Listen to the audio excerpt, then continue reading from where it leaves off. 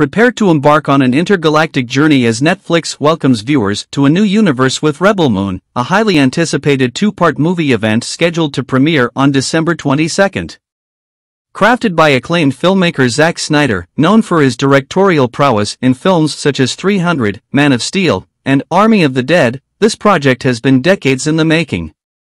As the culmination of Geeked Week approaches, Netflix is unveiling one of its major highlights for the year.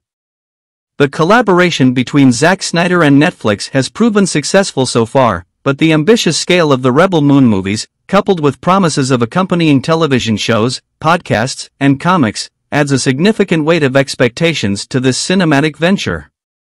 Zack Snyder, a maestro in the realm of visually stunning and action-packed storytelling, brings forth Rebel Moon. The narrative unfolds after Kora, portrayed by Sofia Boutella, crash lands on a distant moon located in the farthest reaches of the universe. Kora, a mysterious stranger with an enigmatic past, finds herself amidst a tranquil community of farmers.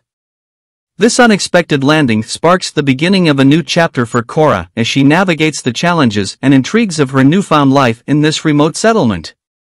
With the anticipation building for Rebel Moon, viewers can expect Snyder's signature cinematic style, blending immersive visuals with compelling storytelling. The two-part movie promises to take audiences on an enthralling journey through the unexplored territories of space, offering a fresh and captivating experience.